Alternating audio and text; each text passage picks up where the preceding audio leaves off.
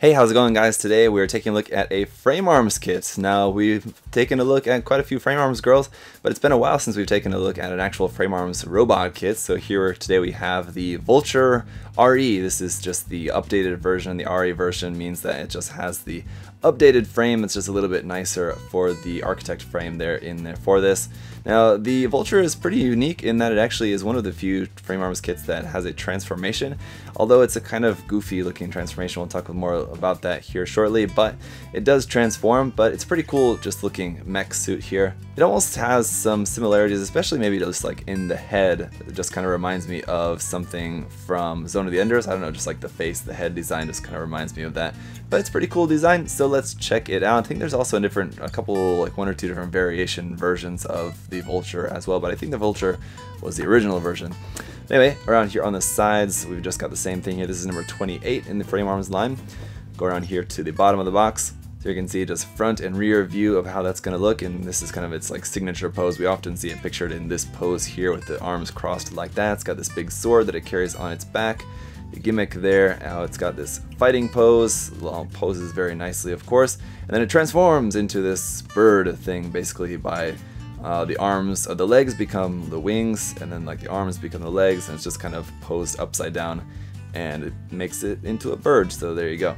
And here's how it's going to look, just uh, unpainted straight out of the box. And as you can see, it really doesn't look all that different. It's missing a couple tiny little things, but even as is, straight out of the box, it's going to be looking pretty cool. And on the other side of the box, there's nothing really too much to see here, except the list price of 3,800 yen. So it's not all that expensive. These are, in terms of size, a little bit larger than your standard HG usually. And I think this one is going to be a little bit taller as well, just because it's kind of got a little bit long legs there.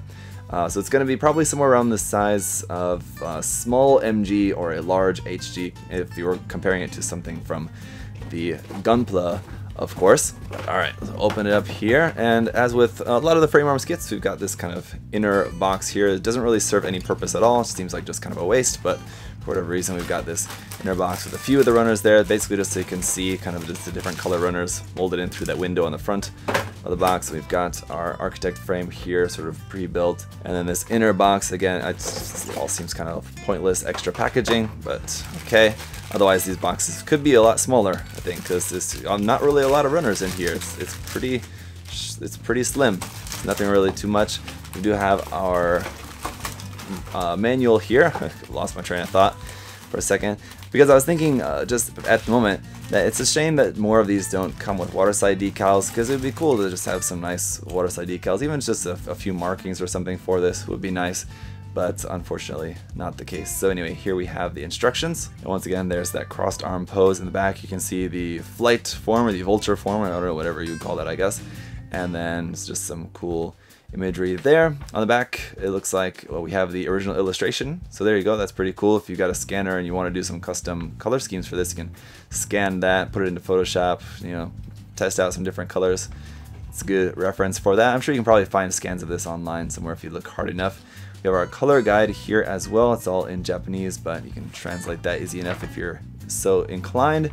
Well, opening up to the center page, we've got some more illustrations here, just a colorized version of the illustrations. And then looks like here about the sword. The sword can be made into a square. That's kind of interesting. I guess you could then like throw that or just, I don't know how you're really supposed to use that as a square, but it can be folded into a square. The equipment, the transformation there once again about the legs, it's got like this kind of blade there folded in the back of the legs. It's got these sort of claw weapons there on the forearms. And then just like the sword I guess can be just used as like a kind of whip, sort of like loose sword kind of thing I guess if you wanted to go for that. And here's how the cockpit looks, cool illustration of that. Alright, going back to the front page, we've got our parts list there. As you can see, yeah, it's pretty minimal. Not a whole lot of runners with this kit We got just taking apart the uh, architect frame and just building the construction of this and I'm, I'm thinking the construction for this guy is not going to take all that long. It should go together pretty quickly. Let's get into the runners.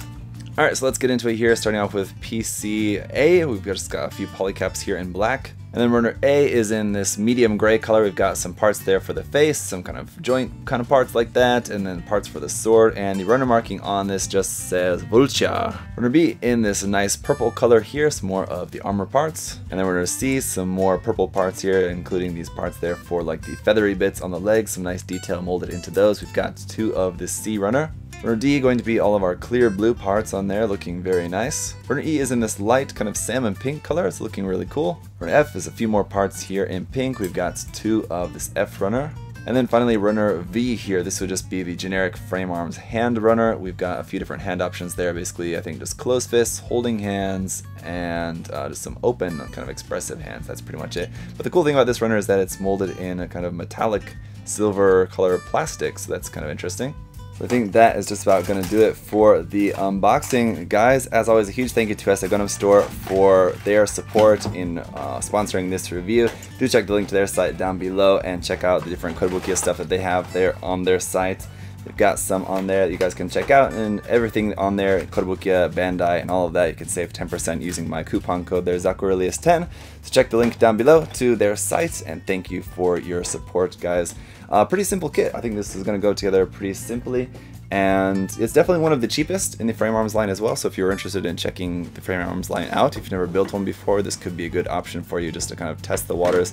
So we'll see how it is. Uh, I'll let you guys know in the review coming up next. Thanks so much for your support and I'll see you next time. Bye bye guys